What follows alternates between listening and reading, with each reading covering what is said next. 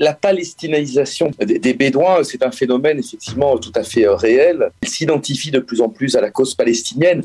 Est-ce qu'il y a une relation de cause à effet? Est-ce qu'il y a, parce qu'il y a cette palestinisation, il y a eu cet attentat? Très franchement, je ne m'aventurerai pas à établir ce lien.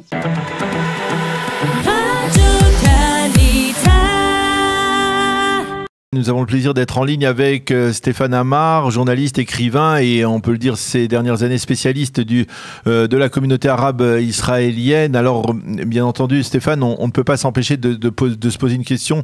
Euh, comment comment un arabe israélien aujourd'hui dans la conjoncture actuelle, alors que euh, il y a euh, un, parti arabe au sein de la coalition gouvernementale, eh bien peut-il euh, prendre un couteau et poignarder, assassiner quatre, quatre personnes au cœur d'Israël, on va dire, même si Beersheba c'est la capitale du Negev.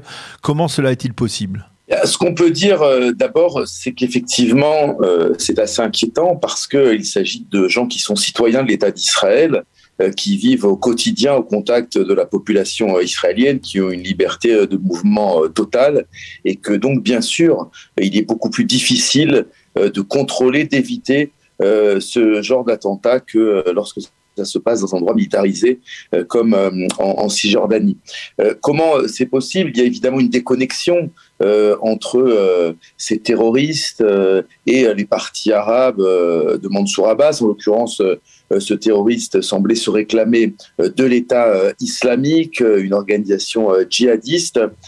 Il n'y a pas là, si vous voulez, à part peut-être sans doute de la part du Hamas qui soutient ouvertement ces actes, il n'y a pas d'organisation véritablement derrière cet attentat. Il y a l'acte d'un djihadiste d'un terroriste islamiste qui commet, je dirais, en loup solitaire son attentat.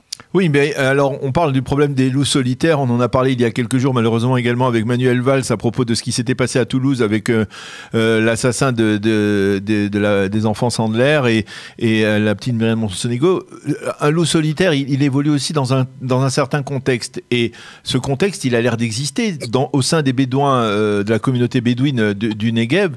Eh bien, euh, nous le disait à l'instant, il y a une atmosphère de soutien à la cause palestinienne il y a euh, des maris euh, bédouins euh, qui ont des femmes arabes, qui ont des femmes palestiniennes qui viennent de la bande de Gaza. Même la sœur d'Ismaël Enia habite Roura, la localité d'où venait le, terroriste.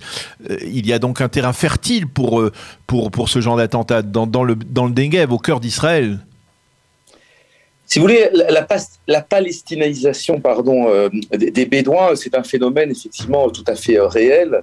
Euh, ils sont de plus en plus attachés, ils s'identifient de plus en plus à la cause palestinienne. Est-ce qu'il y a une relation euh, de cause à effet? Est-ce qu'il y a, parce qu'il y a cette palestinisation, euh, il y a eu cet attentat? Très franchement, je ne m'aventurerai pas à établir ce, lien pour une raison très simple. C'est que si on part de ce principe, alors la Cisjordanie, la Judée-Samarie devrait être à feu et à sang, puisque Mahmoud Abbas et euh, a le contrôle de ce territoire, qu'il est lui-même extrêmement virulent euh, contre Israël, qui cultive lui-même cette hostilité à Israël. On devrait dire aussi la même chose de la bande de Gaza. Il devrait tous les jours euh, y avoir des attaques depuis la bande de Gaza. Non, ce n'est pas aussi simple. D'abord, si vous voulez, je dirais que ce nationalisme palestinien, il est impossible à combattre il est, je dirais, naturel, il est attaché à chaque euh, Palestinien qui, euh, selon les époques, selon les personnalités, selon les familles, va plus ou moins euh, le cultiver. mais si vous voulez, c'est quelque chose contre lequel on ne peut pas lutter. Mais, mais ça n'existait pas. Ça n'existait pas. Une lutte technique, c'est-à-dire une lutte policière, un contrôle policier par le renseignement d'abord, c'est effectivement le, plus important,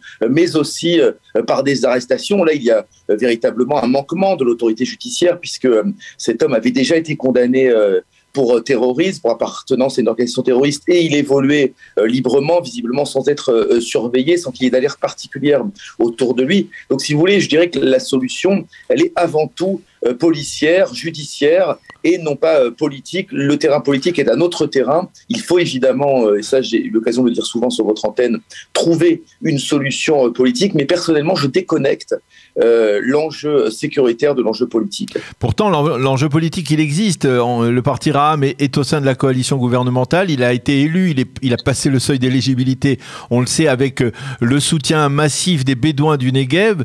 Est-ce que finalement, aujourd'hui, Mansour Abbas peut cautionner une politique, une main de fer de la part du gouvernement Bennett Lapide contre les Bédouins du Negev euh, euh, sans, risquer d'en pâtir sur le plan politique? Ça, ça le regarde, je dirais. il est évident qu'il doit condamner cet acte. Je ne sais pas s'il l'a fait. Il l'a fait, il l'a fait, bien entendu. Il l'a fait. Euh, il, est évident que euh, il faut à tout prix que les, Bédouins et ceux qui sont, d'autant plus ceux qui sont représentés au Parlement, agissent main dans la main avec Israël pour lutter contre le terrorisme. Et c'est d'ailleurs ce qui se fait d'une certaine manière en, Cisjordanie avec l'autorité palestinienne. Parce que s'il y a euh, plus ou presque plus d'attentats euh, en, Cisjordanie, en tout cas beaucoup moins qu'avant, beaucoup moins euh, qu'à l'époque des accords d'Oslo, par exemple, c'est parce qu'il y a une coopération sécuritaire entre l'autorité palestinienne et Israël. Et donc là, on voit bien que même si ces deux entités sont tout à fait opposées sur le point politique, elles peuvent collaborer sur le point sécuritaire. Et c'est ce qu'il faut.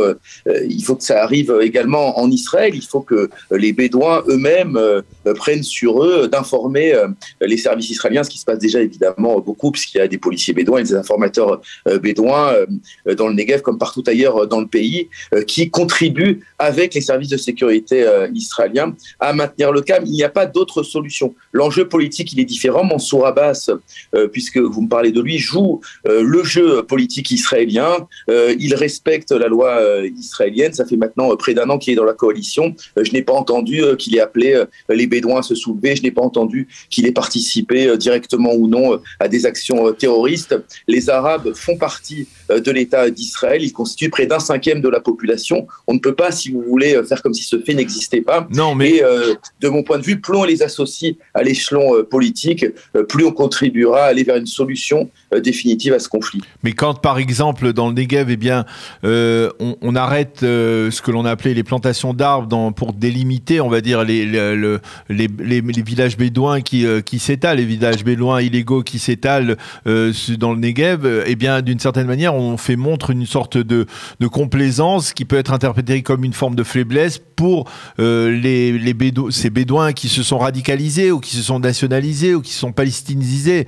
Et, et là, quelque part, il y a un problème de gouvernance pour Israël. Oui, alors si vous voulez, j'ai suivi de près euh, ces événements euh, dans le Negev euh, cet hiver. Il y a une lutte territoriale évidente entre d'une part l'État d'Israël et d'autre part les Bédouins qui n'acceptent pas effectivement, je dirais, la, présence ou en tout cas l'extension de localités israéliennes dans le Negev. Ils considèrent que le Negev leur appartient. cette lutte, elle, elle, se tranche, je dirais, dans le cadre de l'État de droit qu'est l'État d'Israël. le KKL a décidé euh, sur ordre du gouvernement euh, de cesser euh, effectivement ce, reboisement de, certaines parties du Negev. certaines affaires territoriales sont portées devant la justice, devant la Cour suprême. Tout cela, si vous voulez, fait partie de la vie démocratique israélienne. De mon point de vue, il n'y a aucun lien entre ça et ce qui s'est passé hier.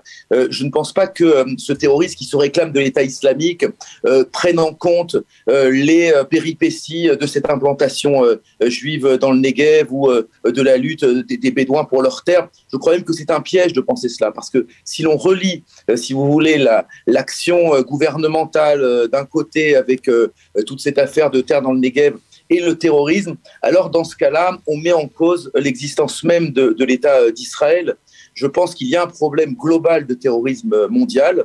D'ailleurs, auquel, d'une mouvance auquel appartient le terroriste de, de, Beersheba, qu'il faut traiter encore une fois sur le point euh, sécuritaire. Mais je ne pense pas, et c'est à mon avis démagogique, de dire que le gouvernement porte une quelconque responsabilité dans ce qui s'est passé hier. Le seul responsable, évidemment, c'est le terroriste qui a commis cet acte. Oui, bien, entendu, loin de nous le, le, le fait de dire que, que, le gouvernement a une responsabilité dans l'attentat d'hier. Euh, certains l'ont dit d'ailleurs, euh, mais ce n'est pas notre cas. Mais, mais, mais, euh, mais l'idée de, de, d'un, manque de gouvernance, on a le sentiment que ça existe dans la, dans la réalité, dans la réalité du, du Negev. En tout cas, merci beaucoup Stéphane Amar d'avoir été avec nous ce matin, d'avoir répondu à nos questions après cet attentat d'hier, attentat meurtrier d'hier à Beersheba. Merci d'avoir été avec nous. Bonne journée, à bientôt. Merci Daniel. Ha!